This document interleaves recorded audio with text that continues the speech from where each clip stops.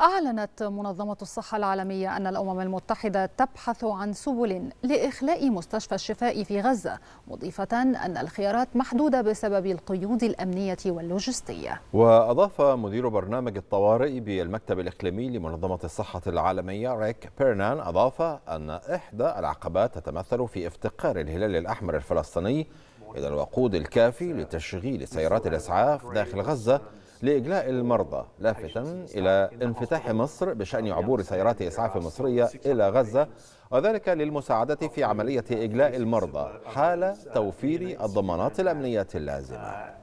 access to the incubators any longer because of the lack of fuel. Uh, we understand there are still 27 critically ill patients.